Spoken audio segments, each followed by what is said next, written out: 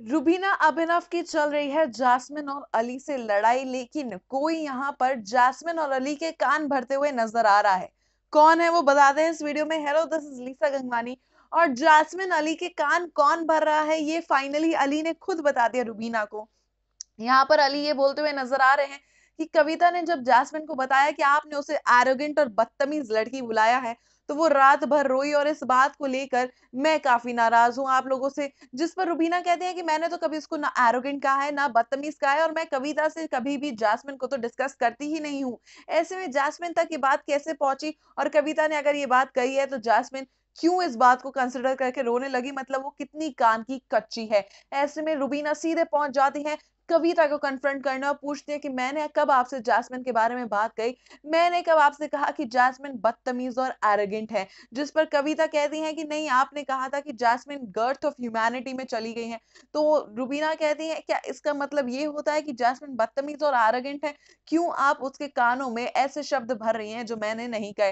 तो कविता बहुत आराम से, बहुत कन्वीनियंटली पहुँच जाती है पवित्रा के पास कि पवित्रा ने शायद कहा था एरोगेंट और बदतमीज क्योंकि वो आपके साथ आई थी तो मैं शायद कंफ्यूज हो गई होंगी। जिस पर पवित्रा भी लेती हैं कविता की क्लास की, मैंने कभी भी जासमिन के लिए ये वर्ड्स यूज़ नहीं करे। मैंने कहा था जासमिन का बिहेवियर बहुत डिसरिस्पेक्टफुल है। मैंने कभी भी आरोगेंट और बदतमीज शब्दों का प्रयोग ही नहीं किया। ऐसे में कविता अपने ही शब्दों के जाल में फंस जाती हैं और जासमिन कहीं ना कहीं शायद ये समझ जाती है कि कविता किस तरीके से उनके कान भर रही थी। तभी वो कविता से बाद में खुद ही लड़ती हुई नज़र आती है उनकी लैंग्वेज को लेकर। जी हाँ बाद में रुबीना और कविता के बीच में जो कहा सुनी होती है, कविता उसको लेकर कह रही होती है कि रुबीना की लैंग्वेज देखे रुबीना के बात करने का तरीका देखे जिस पर जासमिन कविता से बोलती हुई नज़र आती है, पहले आप अपने बात करने का तरीका देख लीजिए, आप जिस तरीके से लड़ती हैं, वो तो घर में कैसे, कोई भी नहीं कर सकता तो आप पहले अपने बात करने का तरीका देखिए, उसके बाद किसी और से बोलिए।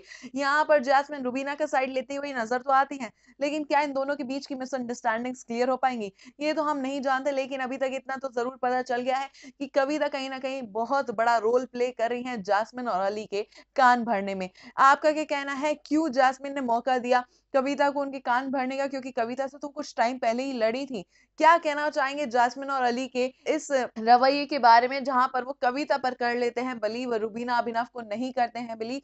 लिखकर बता दीजिए, मैं कमेंट सेक्शन में साथ ही मैं चैनल देखते रहिए, क्योंकि ऐसे कई सारे एक्सक्लूसिव वीडियोस ऐसे कई सारी एक्सक्लूसिव खबरें हम आप तक पहुंचाते रहेंगे।